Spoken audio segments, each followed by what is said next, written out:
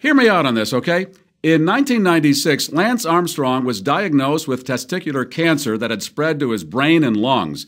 He had surgery and extensive chemotherapy. From that point, he went on to win seven of those grueling Frenchy bike races. But because of doping allegations, he was stripped of all those titles.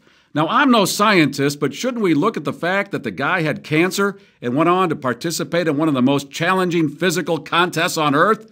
Maybe we should look at the ingredients in that doping stuff he was accused of taking and see if it works to strengthen cancer patients. I'm just saying, to win the Tour de France takes a lot of stamina and physical strength from someone who never had cancer.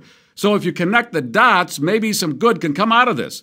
I know it looks like this is coming out of a cartoon's pie hole, but I'm serious. I'm Garry Meier's avatar, and I approve this message.